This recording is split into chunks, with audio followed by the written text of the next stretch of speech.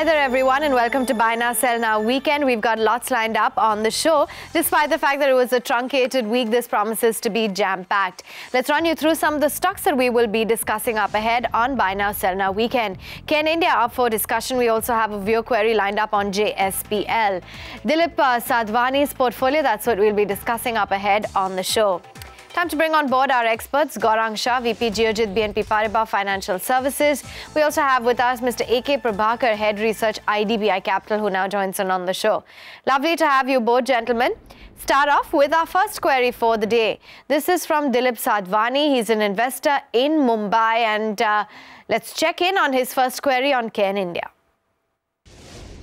I hold 640 shares of Cairn India with the average price of 218 my time horizon is 5 years. Shall I add more to bring the average down or simply hold it? Okay, let's find out what exactly he should be doing with his holding in Cairn India. For now, though, the stock has seen quite a good rally this week. But run us through, Gaurang, how this one stacks up vis-a-vis -vis some of its peers in light of what's going on with crude oil prices. And do you think that it's a good time to add more? Well, Avan, uh, for this particular company which is engaged into the oil exploration and upstream company, uh, things are a little bit more different than compared to the other upstream stroke oil exploration companies. The reason being of the talks of merger of Cairn India with Vedanta and that has been there uh, in the public domain for quite some time. The issue over here is what kind of swap ratio that is going to work out in case if this merger has to go through whether it is going to be favorable or unfavorable. Now that is the, something that will come to know, where that will come to know in the future. Having said that, uh, as a disclosure, we do have a hold recommendation on Cairn India.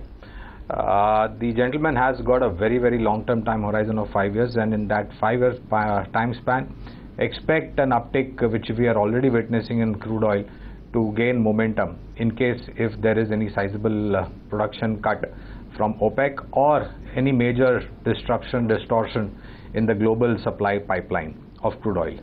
Uh, so he can average definitely maybe 25, 50% or even more if he has the investable capital. See to it that you bring down your averages sub uh, 180, 175 this is because our target price is at 201 under the present uh, present scenario and circumstances. In case if things uh, emerge positively and the numbers start looking positive, then we might revise it upwards. Okay, there you have it. It's a good long time horizon, so you can look to add on as well. But do remember to keep a target of about 201 on Cairn India.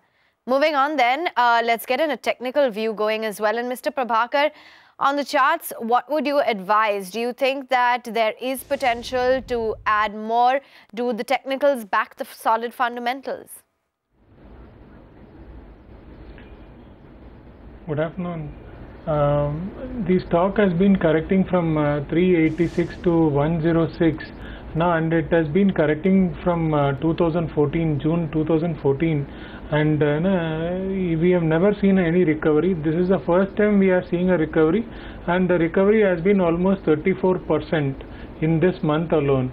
And uh, know, if we take a minimum retracement of even 40% it comes to 215 so there is a possibility the stock uh, might rally to 215 to 246 in near term but long term could be even better now, but uh, my advice would be, you know, averaging is not a good uh, concept, you know, uh, because the stock has been continuously correcting. Buying strength is more important, and the investor has a time horizon of five years.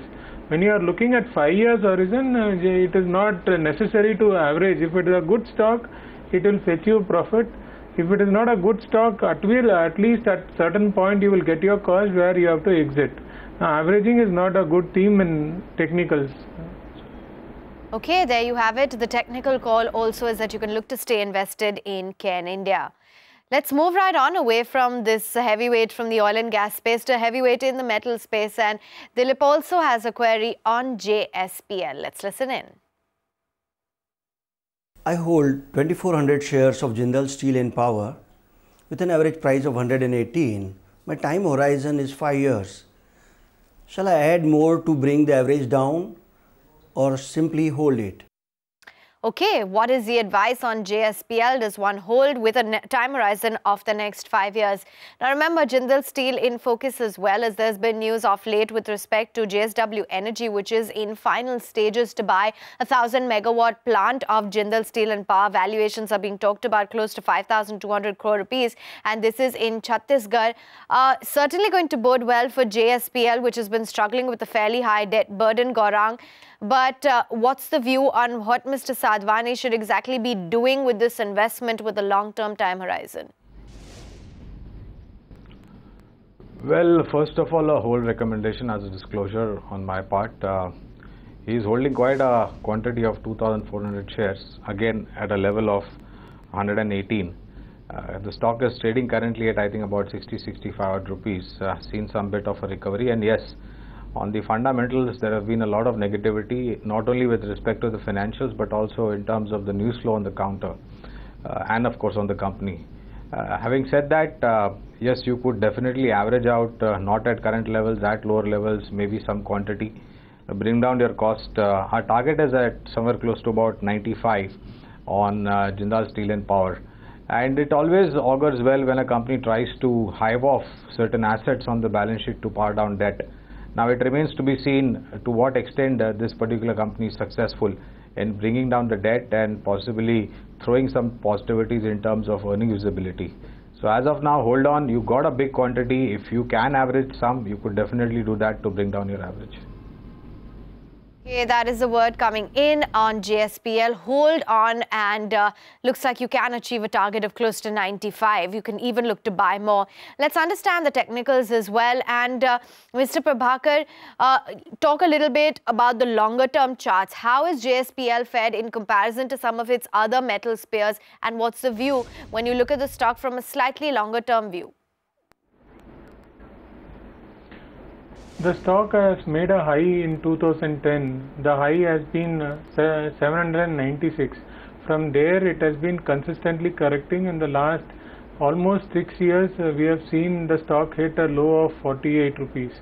So from there, it has seen a mild recovery. I think uh, no, the recovery could be even larger from here. But uh, no, compared to other metal stock, this has been a gross underperformer. Now, the, there are other metal stocks like Hindalco, Tata Steel which are uh, no, uh, relatively outperforming this stock. So it is not a stock where comfort is going to come, but I think worst for the stock is almost over. Maybe another one two years, now it can uh, consolidate around these level between now 50 to 100 rupees. But later there are possibility that the stock can move up and target even 225 in the next uh, three to five years. So I think the worst is already there in the prices. And uh, we see for a stock which is almost corrected for last 6 years we need a consolidation for 2 years. So you have to you need to have a patience. If that patience is there I don't think any problem is there on the stock at this level there you have it. Patience is a virtue and one that you should definitely be adopting when it comes to your investment in JSPL. So on the fundamental as well as the technical side, the verdict is out. You should stay invested. I hope we were able to help you out, Mr. Sadhwani, with both your queries. We zip into a quick break right here on the show, but up ahead, we have Dhananjay V's portfolio that's up for discussion.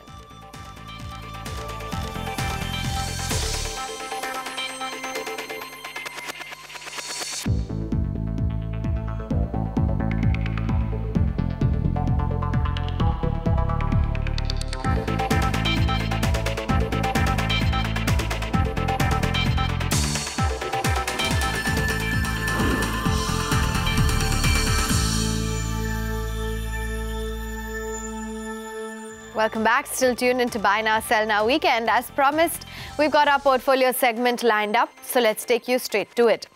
Today we'll be discussing Dhananjay uh, Vishwakarma's portfolio. He is a private employee, 28 years old.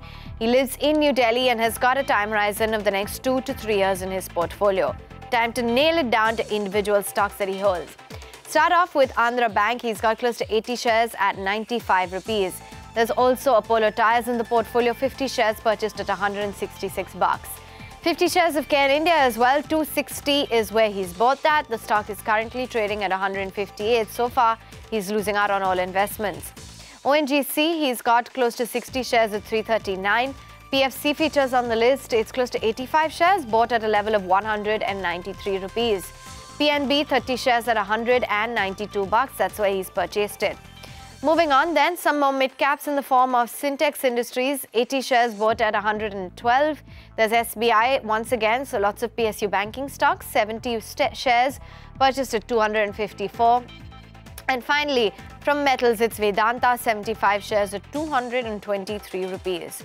Gaurang, let's get straight to assessing the stocks in his portfolio. Although it may have a mix of large and mid caps, unfortunately, Dhananjay isn't performing very well on his portfolio. We'll start off with the first name, Andhra Bank. What do you think he should do here? What's the advice on next up, Apollo Tyres and 166, as well as Cairn India? So I think broadly on the portfolio, yes, it is a mix of uh, large and mid cap, but unfortunately he's bleeding quite bad on the entire portfolio. So my advice to him is on most of the stocks, he needs to hold on to them as well as average them out because the current uh, CMP or the current market price is at a very low level compared to where he's invested. So I'll go on with the portfolio that he's had. Uh, on Andhra Bank, we have a whole recommendation, but you definitely need to average it over here with a target of 112. Stay invested on Apollo Tyres. We saw some traction on the tire manufacturing companies throughout the week and fortnight back. We have a positive coverage. Uh, hold on to it with a target of 217. On Cairn India, as we were discussing earlier, uh, you need to stretch your time horizons to more than two or three years, keeping in mind the lower crude oil prices and the realization, and of course the merger news, which is an overhang on the counter. Here also you need to hold on to it and uh, maybe average it out. Uh, you need to watch out for a target of 201 on Cairn India. That's the call coming in on the first three stocks in the portfolio. Let's move on. Talk about heavyweight ONGC. What's the advice at 339? You know, because he mustn't be the only one, uh, you know, who's in this kind of a position. What about other investors on ONGC? Let's talk about as well PFC. What's the advice here? And PNB from the PSU banking lot. Is the pain likely to continue when it comes to earnings? 192 is where he's fetched the share. So Avan, firstly on ONGC, things are looking a little bit better compared to Cairn India. The problem is that it is a PSU and with the divestment target that the finance minister has set aside in the budget, there could be a case in point wherein ONGC could be included in the divestment list. Of course, it will depend upon at what pricing uh, the government wants to dilute the stake. As of now, hold on to it. You can definitely average. We are looking at a target of 306 on ONGC.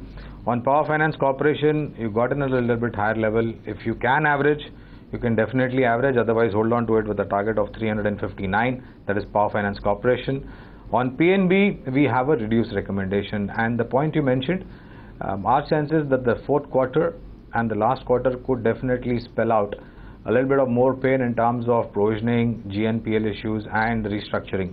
Uh, if you can switch from here on pullbacks, uh, you can definitely look at investing in ICICI Bank over there, we have a target of 364. Sintex is what he has in his portfolio, a mid-cap favorite, but losing sheen for now. 112 is where he's bought it. There's also SBI from the PSU banking lot at 254. And the final stock, Gaurang, that we'll discuss is Vedanta. What do you advise on these three names?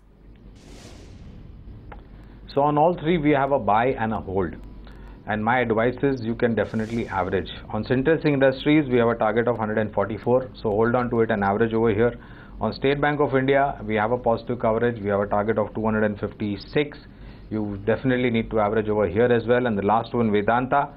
Well you need the longest time horizon. Hold on to it and an average. We have a target of 170 on the metal pack uh, uh, Avan our sense is that uh, possibly the bottom is in place. You could see some volatility keeping in mind the recovery in commodity market, uh, metal pack, and of course the demand supply equation, uh, there could be a case wherein from a two year, three year plus kind of time horizon, Vedanta could definitely see much better higher levels. Okay, that's the call coming in on what to do with your entire portfolio. And in fact, let's walk you through all of the recommendations that have been made by Gaurang. First up, start off with Andhra Bank. Look to hold and even buy more. Look out for a target of 112 on this investment. Stay invested then in Apollo Tyres for targets of 217. A good stock to have in your portfolio indeed. Cairn India, a target price here 201. Buy more of ONGC and hold on to your current investment. 306 is the target price. PFC, it ditto is the case. The thumbs up there, 359 target. Look to sell out of PNB. Clearly lost out quite a bit here. ICICI Bank is a preferred option for targets of 364. Meantime, stay put in Sintex for a target of 144.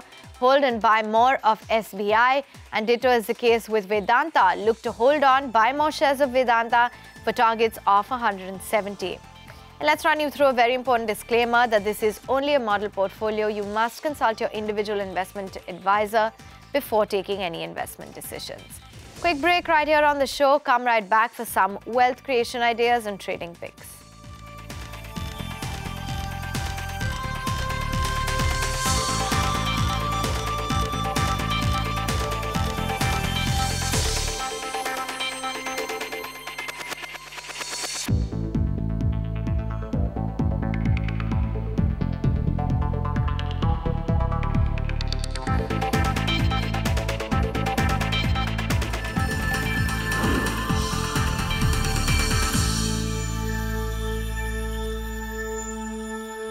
With Now, Sell Now weekend, and let's uh, connect with our technical and fundamental guest to talk a little bit about the market action. A truncated week nonetheless, and there was quite a bit of gusto at the start of the session. We paled off when we came to Wednesday, and by the time we shut shop, at least 7,700 was intact. So, a rally on the index. Most of the big global events seem to be out of the way. But let's talk technical levels. And Mr. Prabhakar, would 7,700 be, a, you know, a level to reckon with? Is this here to stay, or just a short-term rally that may just fizzle out. We've almost corrected from uh, 9,119 till uh, 6825 for which this is the best month in the last one and a half years. Now you have seen a rally of almost 10% and uh, no, uh, in my sense I feel 7800 to 7900 is where market can see a temporary top and post which I expect a correction.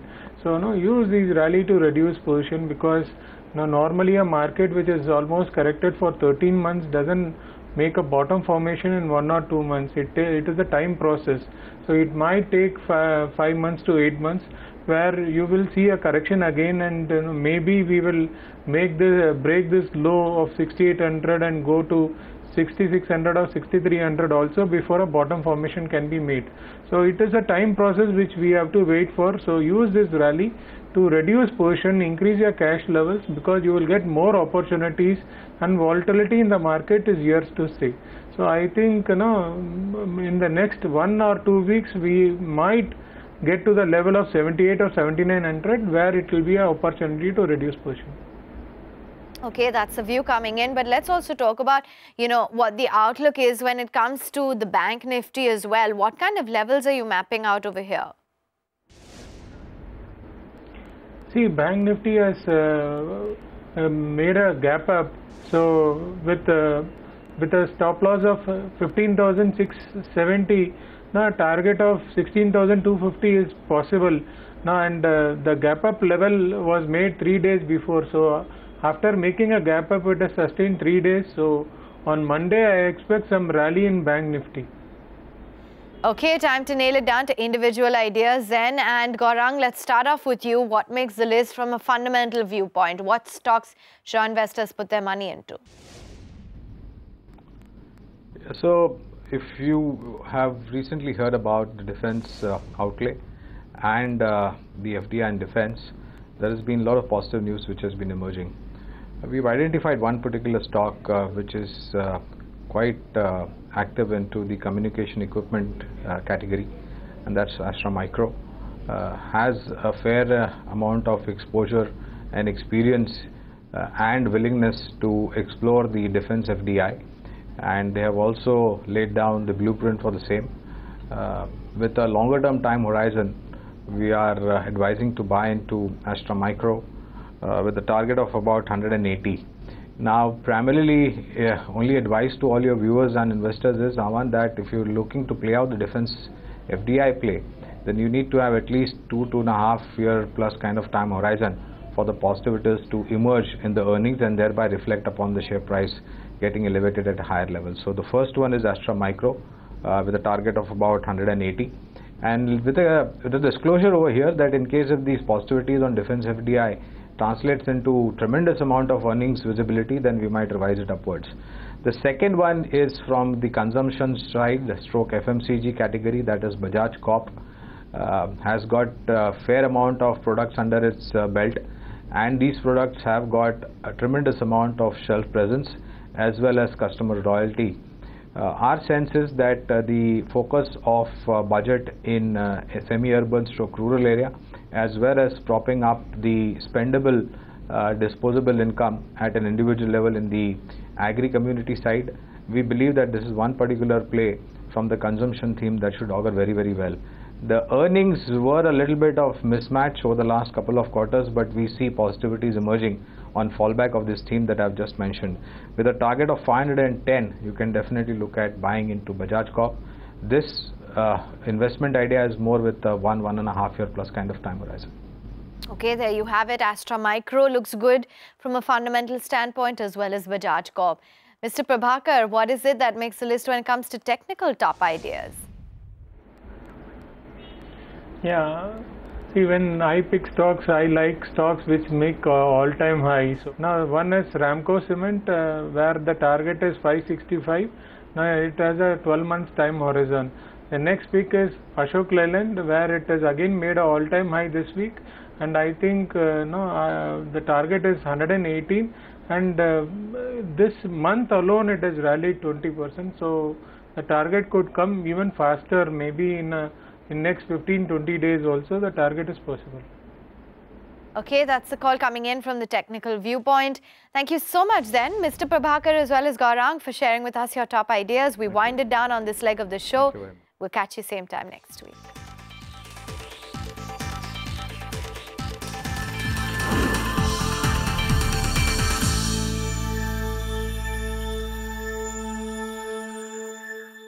Find us on Facebook at facebook.com slash etnow and don't forget to click the like button. You can also follow us on Twitter at etnowlive. To stay updated with all our programming, hit the subscribe button on our YouTube channel by logging on to youtube.com slash user slash etnow.